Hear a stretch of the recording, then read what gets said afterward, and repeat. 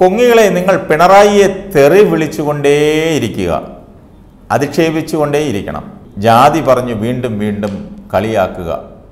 പണ്ടെങ്ങോ പിണറായി സ്കൂളിൽ പഠിച്ചുകൊണ്ടിരുന്ന കാലത്ത് മരിച്ചുപോയ അദ്ദേഹത്തിന്റെ അച്ഛനെയും വെറുതെ വിടരുത്. ഭാര്യയെയും മക്കളെയും അധിക്ഷേപിച്ചുകൊണ്ടിരിക്കണം. അറിയുന്ന തെറികളൊക്കെ വിളിച്ച് നിങ്ങൾ സമാധാനിക്കുക. ഇത് പറയാൻ കാരണം നിങ്ങൾ അദ്ദേഹത്തെ തെറി വിളിക്കുന്നത് എന്തിനെന്ന് ജനങ്ങൾക്കറിയാം. കാരണം അദ്ദേഹം കേരളത്തിലെ മുഖ്യമന്ത്രിയാണ്. സി പി എമ്മിന്റെ മുഖമാണ്. ശത്രു എപ്പോഴും എതിരാളികളുടെ ശക്തി തിരിച്ചറിയും. പിണറായിയെ ബി ജെ പിയും കോൺഗ്രസും കേരളത്തിലെ സകല പിന്തിരിപ്പന്മാരും തിരിച്ചറിയുന്നു. ആ ശക്തിയും തന്ത്രവും തിരിച്ചറിയുന്നു. അതേ നാണയത്തിൽ തിരിച്ചടിക്കാൻ ശക്തിയില്ലാത്തവൻ തെറിവിളിക്കും ജാതി പറഞ്ഞ് അധിക്ഷേപിക്കും.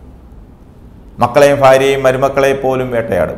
കാരണം നിങ്ങൾക്ക് അയാളെ കീഴ്പ്പെടുത്താനാവില്ല എന്ന തിരിച്ചറിവ് അത്ര ഭീകരമാണ്. കാരണം നിങ്ങളുടെ ചിറകു മാത്രമല്ല പറക്കാനുള്ള മനസ്സും അദ്ദേഹം ഇല്ലാതാക്കി. അതിന്റെ കൊടിയ നൈരാശ്യമാണ് നിങ്ങൾക്ക്. ഇനി അത് വർദ്ധിക്കത്തേയുള്ളൂ.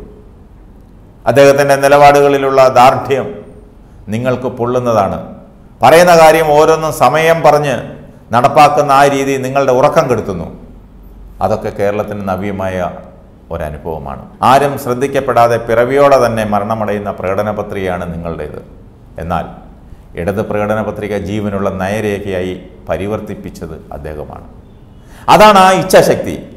നിങ്ങൾ അദ്ദേഹത്തെ തെറി വിളിക്കുമ്പോൾ അദ്ദേഹം തളരുകയല്ല മറിച്ച് ശക്തി ആർജിക്കുകയാണ്.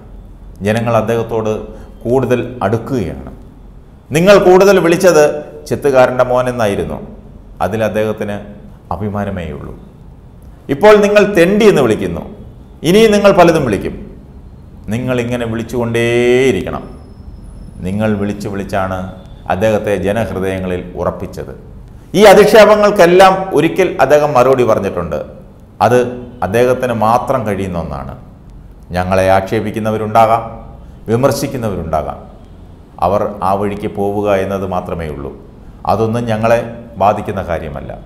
ഞങ്ങളെ ബാധിക്കുന്ന കാര്യം ഈ നാടിന്റെ പ്രശ്നങ്ങളാണ്. ഈ നാടിന്റെ പ്രശ്നങ്ങൾ പരിഹരിക്കുന്നതിന് ചുമതലയേറ്റവരാണ് ഞങ്ങൾ. ആത്മധൈര്യത്തോടെ ഞങ്ങൾക്ക് പറയുവാൻ കഴിയും. ആ ചുമതല ഞങ്ങൾ നിറവേറ്റുക തന്നെ ചെയ്യും എന്നാണ് അദ്ദേഹം പറഞ്ഞത്.